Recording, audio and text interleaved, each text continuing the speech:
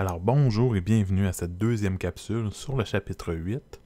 Donc la capsule que je viens de, faire, la capsule 1, euh, où vous avez vu un peu euh, les molécules organiques. Euh, jusqu'à maintenant, j'ai présenté comment les dessiner en structure de Lewis et structure 3D. Donc des notions qu'on a vues dans le chapitre 5, donc dans le premier module, lorsqu'on a commencé. Par contre, ça va être très très utile de les, connaître maintenant, de les utiliser pour les molécules organiques. Donc c'est pour ça que je, reviens sur l'exercice qui est ici. Donc l'exercice 2, euh, que je vous demanderai de faire si vous ne l'avez pas déjà fait dans la capsule précédente. Donc suite à la capsule 1, vous devriez avoir fait l'exercice 2 qui vous demande de dessiner deux, euh, les deux structures qui sont dans les cases, je vous demanderai de faire au moins deux cases. Donc, ça veut dire euh, selon votre place de travail au laboratoire. Donc, utilisez des cases ici. Donc, si vous êtes étudiant, la case, euh, par exemple, le, le, poste de travail 1, vous allez faire les deux molécules de l'étudiant 1 et les deux molécules de l'étudiant 11 comme pratique. Je vous inviterai quand même à faire plus si vous désirez, mais au moins d'en faire quatre euh, avant de vous lancer euh, dans les exercices qui se trouvent euh, pour le chapitre, chapitre 8 plus spécifiquement. Donc faire ces exercices-là pour les structures de Lewis et structure 3D. Pourquoi? Parce que lors de la prochaine, de cette, de cette capsule-ci, donc la deuxième, je vais vous faire dessiner les structures de ces molécules-là, mais avec une autre écriture qui est différente, qui est l'écriture qui est le plus utilisée en chimie organique. Donc je vais vous présenter les différentes structures, mais c'est évident que la première chose que vous devriez vous habituer à faire, c'est de euh, pouvoir dessiner les molécules d'abord en structure de Lewis, parce que c'est ce que vous devriez connaître le mieux, pour éventuellement pouvoir utiliser toutes les structures, les façons de dessiner en chimie organique. Donc, je vous montre un petit peu c'est quoi les différentes écritures de chimie organique. Donc, évidemment, vous connaissez qu'est-ce que c'est qu'une formule moléculaire. Une formule moléculaire, c'est lorsqu'on vous donne le nombre des différents atomes. Donc, par exemple, ici, C6H14, ça vous dit a 6 carbones et 14 hydrogènes. Par contre, ça vous donne pas beaucoup d'informations sur euh, qu'est-ce que c'est exactement comme structure. Ça vous dit juste le total. Maintenant, si on veut un petit peu plus avoir d'informations sur comment les choses sont euh, connectées les uns avec les autres, vous avez par exemple la structure qu'on appelle semi-développée. Donc la formule semi-développée, c'est une formule qui est utilisée euh, d'ailleurs pour les euh, molécules que je viens de présenter dans l'exercice précédent, donc l'exercice 2 que vous avez à faire. Les molécules sont dessinées dans ce type de structure-là, où vous avez plus d'informations sur euh, qu'est-ce qui est lié avec quoi? Des fois, c'est euh, dessiné sans les tirets entre les carbones. Les tirets, c'est juste des liaisons covalentes qui existent entre chaque carbone. Ici, vous voyez bien que ce qui suit, c'est qu'est-ce qui est lié avec le carbone. Donc ici, c'est des hydrogènes, mais on pourrait avoir des oxygènes, des azotes, etc. Si on veut développer un peu plus, vous avez les structures que vous connaissez un petit peu mieux, soit les structures de Lewis qu'on appelle plus communément en chimie organique la formule développée. Donc en formule développée, on voit tous les liens de tout, tout, tout. Carbone, hydrogène, les liens carbone-carbone, euh, s'il y a autre chose, oxygène, etc., on verrait tous les liens. Parce que ce serait la structure de l'Ouest. Il faudrait aussi montrer les doublets libres lorsqu'il y en a. Évidemment, sur les carbones et les hydrogènes, il n'y en a pas. Hein, comme je vous ai parlé dans la première capsule. Mais ça, c'est sûr que c'est intéressant pour avoir tout, tout, tout de bien dessiné. Mais en chimie organique, le problème, c'est qu'on a beaucoup, beaucoup de carbone. On va avoir des très longues chaînes de carbone avec beaucoup d'hydrogène. Donc, ça commence à être un petit peu long de toujours tout dessiner comme ça. Fait qu'est-ce qu'on va faire, c'est qu'à la place de plus développer, des fois, on va simplifier davantage. Donc, vous avez la formule qu'on appelle semi-développée, mais cette fois-ci, on peut utiliser sous une forme qu'on appelle condensée, où on va mettre entre crochets ou en parenthèse, là, ça veut dire pas mal la même chose. Euh, par exemple, des CH2 quand il y a une répétition. Donc ici, CH2 entre parenthèses ou entre crochets, avec le 4 à l'extérieur, ça veut dire que 4 fois CH2 entre les deux CH3. Donc ici, Hein, au lieu de dire CH3, CH2, CH2, CH2, CH2, CH2, CH3, on va juste dire CH3, CH2 quatre fois, suivi de CH3. C'est un petit peu plus condensé, mais on comprend la même information que dans la formule semi-développée, mais ça simplifie un petit peu l'écriture. Maintenant, ce que nous, on utilise le plus fréquemment en chimie organique, c'est la formule qu'on appelle stylisée. La formule stylisée, c'est une formule qui vraiment rend les choses beaucoup plus rapides à dessiner en donnant une bonne quantité d'informations. Donc, vous allez voir ici, il y a juste des tirets, des lignes, euh, mais il n'y a rien de dessiné vraiment, à part les lignes. Qu'est-ce que ça veut dire? C'est qu'en formule stylisée, chaque bout de ligne, c'est un carbone. Donc, ici, il y a un carbone. Ici, il y a un carbone. Ici, il y a un carbone. Ici, il y en a un autre. Ici, il y en a un autre. Ici, il y en a un autre. Donc, il y en a 1, 2, 3, 4, 5, 6. Il y en a 6, comme on s'attend ici dans la formule développée. Mais ce qui est important, c'est qu'en chimie organique, il y a tellement de carbone qu'à un moment donné, on ne veut pas toujours écrire carbone, carbone, carbone. Fait qu'est-ce qu'on fait, c'est qu'on le cache. On ne l'écrit pas. Il est là, on le sait qu'il est là. Maintenant, qu'est-ce que beaucoup en chimie organique aussi, c'est des liens CH. Les liens CH, qu'est-ce qu'on va faire, c'est qu'on va les cacher aussi. Donc, on ne va pas les écrire. On ne va pas faire de ligne vers un hydrogène entre un carbone et un hydrogène. Donc ici, par exemple, euh, vu que trois hydrogènes, on ne les met pas les trois hydrogènes. On fait juste laisser ce bout-là euh, comme un bout de ligne. Pourquoi? Ben, ça veut dire qu'un carbone, suivi, ce carbone-là va être lié avec d'autres choses, ben, puisqu'il y a juste une ligne de dessinée, les trois autres qui ne sont pas représentés, ce sont des hydrogènes. Ah, parce qu'un carbone doit toujours faire quatre liens. Fait que par défaut, on peut savoir combien il y a d'hydrogène sur chaque carbone ici de la molécule. Ah, si je regarde le deuxième carbone qui est ici, il y a deux lignes visibles avec d'autres voisins. Ça veut dire a deux lignes avec deux liens avec des carbones. Ça veut dire que il faut faire, il faut qu'il fasse quatre liens, mais puisqu'en fait déjà deux, il en reste juste deux qu'on ne sait pas c'est quoi. Mais puisque il n'y a rien d'autre de dessiné, on sait que par défaut, ce sont avec des hydrogènes. Donc, dans la formule développée, on voit clairement que ce deuxième carbone-là avait exactement deux hydrogènes. Donc, la formule stylisée, ça va vous demander un petit peu d'adaptation pour vous habituer à voir ça, le fait qu'on ne dessine pas les hydrogènes sur les carbones. OK? Sur les carbones seulement. S'il y a autre chose qu'un carbone est lié avec un hydrogène, il faut dessiner les autres atomes. Ça veut dire oxygène, il faut le dessiner. Si un, hydrogène est lié sur un oxygène, il va falloir l'indiquer. Si un azote, il faut l'indiquer. S'il y a un chlore, s'il y a un brome, s'il y a un iode, s'il y a un fluor, il faut l'indiquer. Mais les carbones et les liens carbone-hydrogène ne sont pas euh, dessinés dans la forme stylisée pour sauver du temps, sauver de l'espace. Je vais vous donner quand même quelques exemples de tout ça.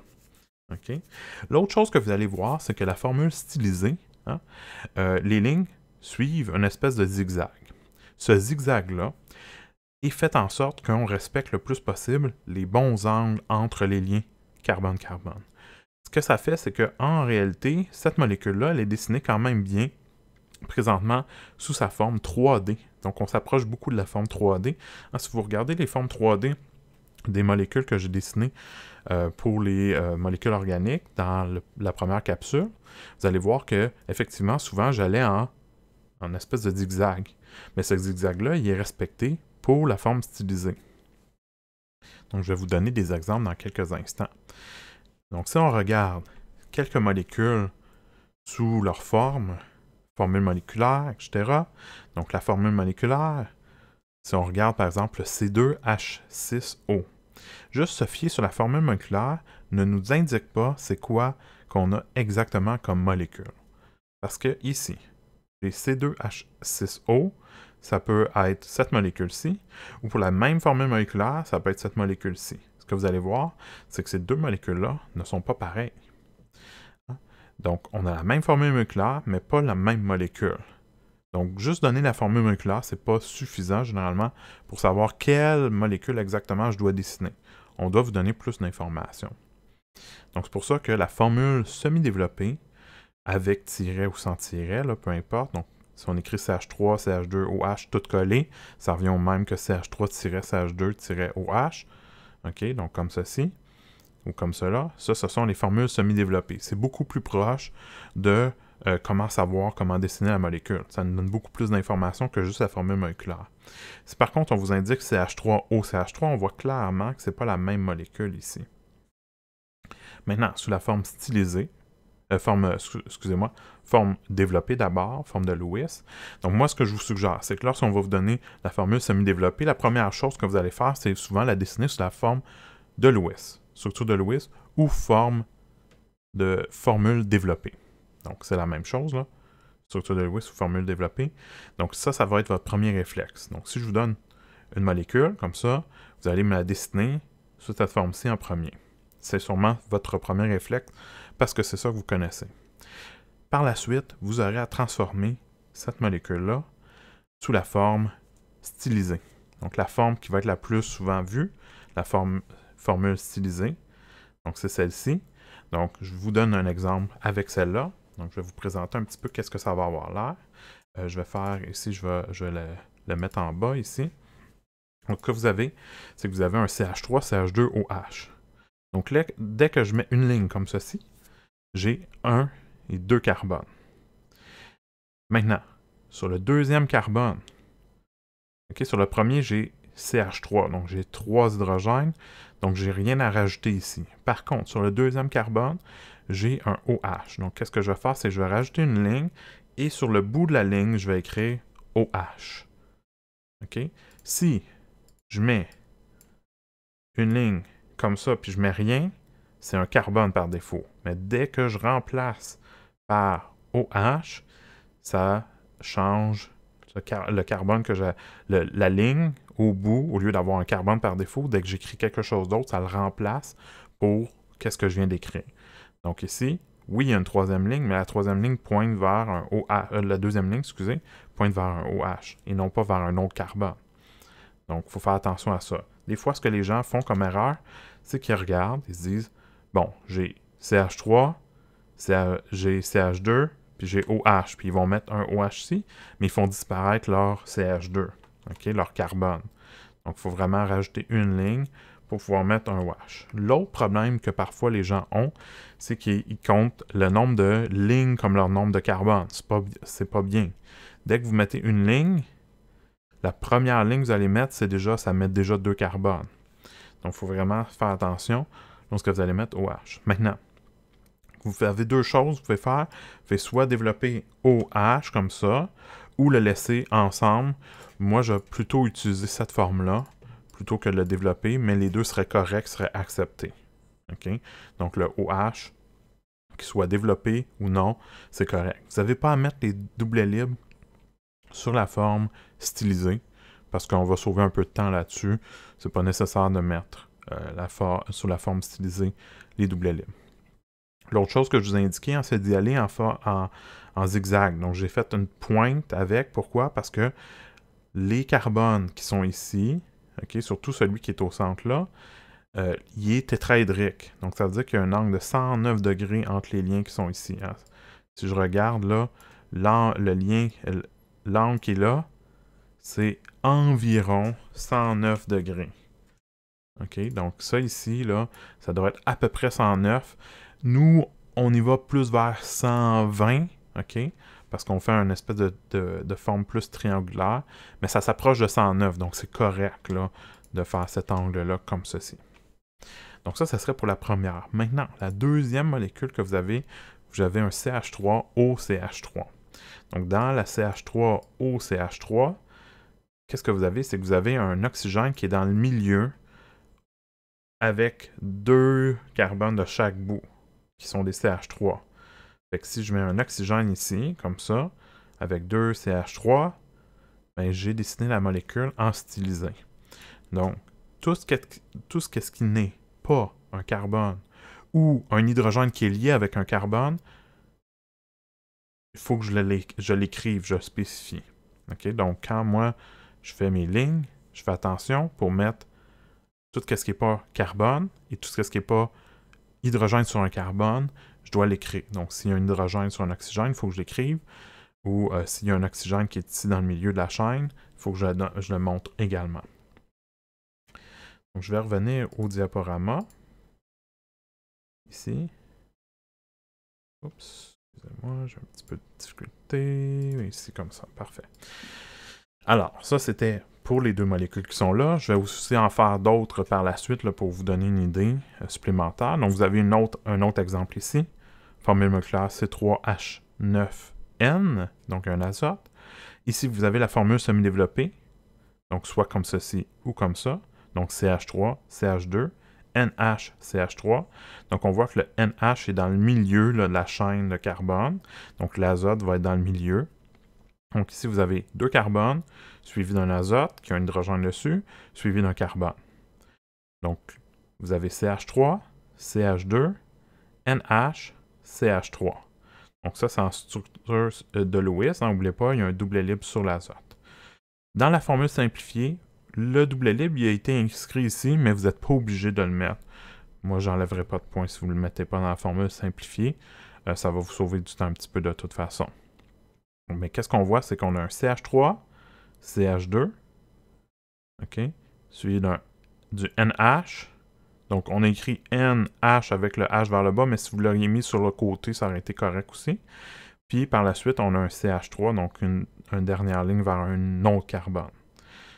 Donc, vous n'avez pas besoin d'écrire CH3, CH2, CH3, ils sont par défaut là. OK, dès qu'on met le bon nombre de liens, par défaut, les autres liens qui ne sont pas inscrits, ce sont des hydrogènes. Donc, dans la notation simplifiée ou stylisée, parce que c'est deux termes utilisés pour euh, la forme qui est ici, la formule simplifiée ou formule stylisée, c'est la même chose. Donc, les atomes de carbone et les liaisons CH ne sont pas représentés. Donc, ça, c'est la, chose que j'ai parlé par avant. Donc, s'il y a un atome qui est autre que carbone, par exemple oxygène, azote, un halogène, il faut le représenter avec toutes ces liaisons, y compris celles avec les hydrogènes, dans le cas que ça s'applique. Donc, je vais vous donner quelques autres exemples de ça. Euh, par contre, il va falloir faire attention parce que des fois, je peux dessiner une molécule d'une certaine manière, puis vous, pourriez dessiner d'une autre manière. Puis ça serait tous les deux acceptables. Pourquoi? C'est parce qu'il y a euh, des liaisons, euh, liaisons simples on peut faire des rotations autour des liaisons simples, puis ça ne change pas la molécule en tant que telle. Donc, si, par exemple, j'ai une molécule qui est ici, qui a 7 carbones, donc 1, 2, 3, 4, 5, 6, 7, j'ai droit à faire des rotations autour, par exemple, des liaisons simples. Donc ici, entre le carbone 3 et le carbone 4, je peux faire une rotation. Qu'est-ce que ça fait? C'est que ça amène ma chaîne de carbone qui était ici vers le bas dans le zigzag, ça va l'amener vers le haut ceci. donc, au lieu d'être orienté ici à droite, est orienté droit vers le haut, mais ça respecte l'angle d'environ 109 degrés ici, plus autour de 120 quand on va le dessiner sur un papier, mais c'est correct. C'est correct parce que ça, ça correspond aux bons angles, même si ce n'est pas la même orientation exactement ici et là, c'est la même molécule en tant que telle parce que c'est les mêmes types de liens aux mêmes endroits, donc c'est correct. Donc vous avez le droit de faire des rotations autour de liens, puis de liens simples, pas de liaison double, on va voir ça plus tard, puis arriver à des dessins différents, mais en réalité, ça représente la même chose. Donc ça, ça peut arriver. Évidemment, je vais essayer de dessiner des choses plus euh, dans le côté droit, euh, en zigzag normal, parce que les premières fois que vous allez voir des molécules, c'est sûr que ça va être un petit peu plus difficile pour vous au départ. Donc, je vais vous montrer quelques exemples euh, de ce que j'avais montré dans la première capsule, soit les, des quelques exercices que j'avais fait avec vous, ben, des exemples que j'ai fait avec vous, pour vous montrer un petit peu la forme euh, de Lewis pour les molécules organiques. Ben, je vais vous la passer sous la forme stylisée maintenant. Donc, si j'ai CH3, CH, CH2, on l'avait vu sous la forme de Lewis comme ceci. Évidemment, plus vous allez en faire, plus vous allez dessiner en stylisé, plus vous allez euh, être habitué de le voir, plus pour vous, ça va être simple euh, de passer peut-être directement de la forme semi-développée à la forme stylisée, forme euh, aussi appelée simplifiée plutôt que de passer par la forme toujours de l'OS. La structure de l'OS, c'est pas nécessaire de toujours la dessiner, mais c'est sûr qu'au départ, vous, pour vous habituer, je vous recommande de passer par la structure de l'OS. Alors ici, qu'est-ce que je vais faire? C'est que je vais faire mon zigzag. Là, vous pouvez le faire partir dans ce sens-ci ou dans ce sens-là, ça revient au même. OK? Donc, je le fasse comme ça vers le haut, la pointe vers le haut, ou comme ça vers le bas. Ça revient à la même chose au final. Maintenant, j'ai 1, 2, 3 carbones de dessiner. Hein, je veux 1, 2, 3. Donc, qu'est-ce que je vais faire? C'est quand le deuxième et le troisième, j'ai une liaison double. Donc, tout ce que j'ai à faire, c'est rajouter une ligne pour indiquer qu'il y a une liaison double. On voit ici, cette molécule-là ou celle-là, c'est exactement la même molécule en réalité.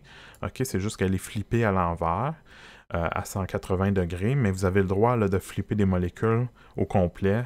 Ça vous donne la même chose. OK? Ça me donne la même molécule que qu'est-ce qui est dessiné là. Donc, si vous avez dessiné ça ou ça pour cette molécule-là, ça serait acceptable. Il n'y aurait pas de problème. Donc, ça, c'est pour vous montrer que lorsque des liaisons doubles, je continue à respecter la forme de zigzag. La seule fois où la forme de zigzag n'est pas conservée telle qu'elle, c'est lorsqu'il y a une liaison triple. Les liaisons triples vont déformer le stylisé euh, en zigzag parce que la liaison triple va demander à ce que ça soit euh, de façon euh, linéaire de chaque côté de la liaison triple. Si on en voit quelques exemples, je vais vous les, vous les montrer un petit peu plus, mais c'est un petit peu plus rare, donc c'est pour ça que je ne vais pas mettre beaucoup d'emphase là-dessus pour l'instant. Pour la molécule qui est ici, même chose que précédemment, j'ai CH3, CH2, O, CH3. Donc je fais CH3, CH2. Là, je sais que je vais avoir un oxygène ici, suivi d'un CH3. Donc comme ceci. Donc je mets, rien parce que par défaut c'est un carbone. Puis vu qu'il y juste une ligne, ben, par défaut il y a trois hydrogènes. Ici, je mets rien parce que par défaut c'est un carbone. Vu que deux lignes qui sont reliées à celui-là, par défaut il y a deux autres lignes qui sont des hydrogènes, donc je ne les mets pas. L'oxygène, il faut que je le mette. Je pourrais mettre les doublets libres si je voudrais. Je ne vous oblige pas de le faire sous la forme stylisée. Puis le CH3 qui est ici de l'autre côté, même chose que précédemment. Les carbones, je ne dessine pas. Puis puisque juste une ligne de dessiner, les trois autres, ce sont des hydrogènes. Finalement, dernier exemple que je vais vous montrer ici, avant de euh, vous montrer l'exemple du chapitre du, de l'exercice 1. Donc, ce que j'avais fait ici, c'est que j'avais fait CH3, CH, CH3, CH3. Donc, j'ai CH3. Donc, j'ai un carbone ici, un autre là, un autre là. Puis, ce que je sais, c'est que sur le deuxième carbone, je dois faire une autre liaison vers un autre carbone. Donc, je vais la mettre droit vers le bas. Donc, comme j'ai présenté, lorsque vous allez commencer à faire des liaisons comme ça, vous allez faire d'abord une liaison droite vers le bas. Ici, c'est nécessaire de faire une autre liaison. Qu'est-ce qu'on ferait? C'est qu'on dédoublerait avec la trois dimensions. Donc, j'amènerais cette liaison-là vers l'avant, puis j'en aurais une vers l'arrière juste à côté. Mais ici, c'est pas nécessaire, vu que je représente juste trois liens, parce que le quatrième, c'est un hydrogène, puis qu'on n'a pas besoin de le dessiner sur un carbone, ben, j'ai pas besoin de mettre plus de liaisons ici. Euh, pour la forme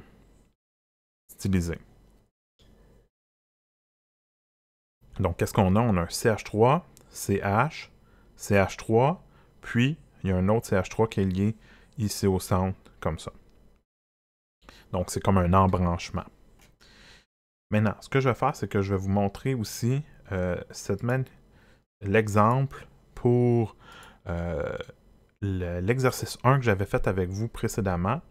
Donc, dans la, dans le, la capsule 1 du chapitre 8, j'ai montré l'exemple de l'exercice 1, qui était le suivant. Donc, qui était OA, HO, CH2, CH, CH, CH3. Ben, ce que je vais faire, c'est que je vais le dessiner en stylisé pour vous. Donc, ce que je vais faire, c'est que je vais partir ici. Je vais me dire, OK, j'ai 1, 2, 3, 4 carbones.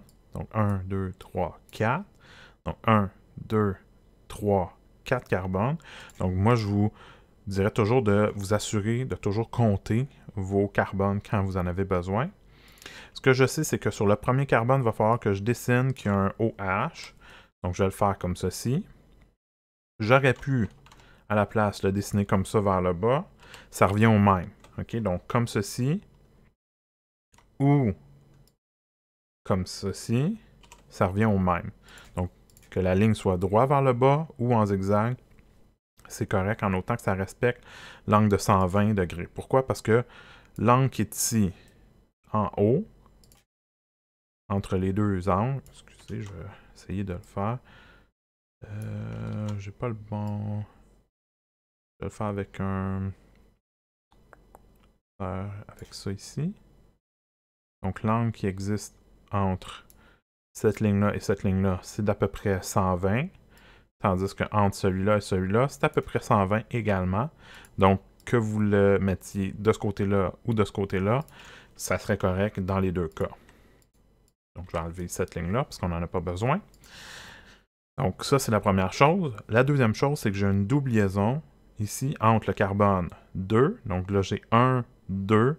Donc, des fois, peut-être peut numéroter vos carbones pour les premières fois vous allez faire des formes stylisées, juste pour vous assurer que vous êtes au bon endroit. Donc ici, j'ai une liaison double. Vous pouvez la mettre la ligne soit à l'extérieur ou vous pourriez la mettre à l'intérieur. C'est bon les deux. Il n'y a pas de problème, peu importe comment vous décidez. Donc, vous voyez, ça, c'est la forme stylisée.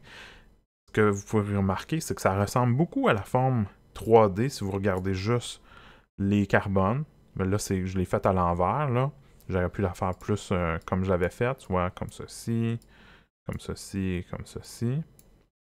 Donc, comme ça, avec la double liaison là. Vous voyez que ça, puis ça, c'est comme viré à l'envers, là. Mais si vous regardez, ça fit pas mal avec la forme 3D. OK? Donc, si je le superpose par-dessus, on voit que c'est presque pareil. OK? Ça, ça respecte la forme 3D qu'on s'attendrait pour cette molécule-là, mais en forme très très simple.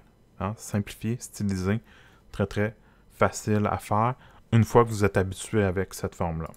Donc, c'est sûr que ça va demander un petit peu de pratique. Donc, c'est pour ça que ce que je vais vous demander, c'est, suite à ce qu'on a fait dans l'exercice 2, vous avez votre tableau. Je vais vous demander d'utiliser le même tableau, de redessiner les mêmes molécules que vous avez faites dans l'exercice 2, mais cette fois-ci, pour l'exercice 3, de les représenter en la forme simplifiée ou stylisée. Donc, c'est la même forme pour ces molécules-là que vous aviez dessinées dans l'exercice 2. Donc, refaire les quatre mêmes molécules, au moins, en stylisé. Si vous voulez en faire plus, je vous invite d'en faire plus, parce que plus vous allez en dessiner, plus vous allez vous habituer à utiliser cette nouvelle forme d'écriture pour la chimie organique. Ça va être très très important parce qu'à partir de maintenant, il y a beaucoup beaucoup de molécules que je vais dessiner et je vais vous euh, montrer dans cette forme-là. Quoique des fois, on va utiliser aussi les formes semi-développées euh, dans certains cas, mais il y a beaucoup beaucoup de fois où ça va revenir sous la forme stylisée. Donc, qu'est-ce que je vais vous demander, c'est de les dessiner, puis de me les montrer par Teams. Vous pouvez prendre une photo, m'envoyer votre photo pour que je puisse corriger, vous dire c'est quoi vos problèmes. Puis comme ça, on va pouvoir euh, vraiment euh, vous envoyer, euh, vraiment vous habituer. Donc, toujours communiquer avec moi si vous avez des problèmes, parce que si votre structure de Lewis est mal faite, c'est sûr que vous ne pourrez pas arriver à une bonne forme stylisée. Donc déjà, l'exercice 2 est super important pour pouvoir réussir à pouvoir compléter l'exercice 3 avec les nouvelles formes de représentation stylisée. Sinon, ça va, aller à la prochaine capsule pour le restant. Donc, à la prochaine!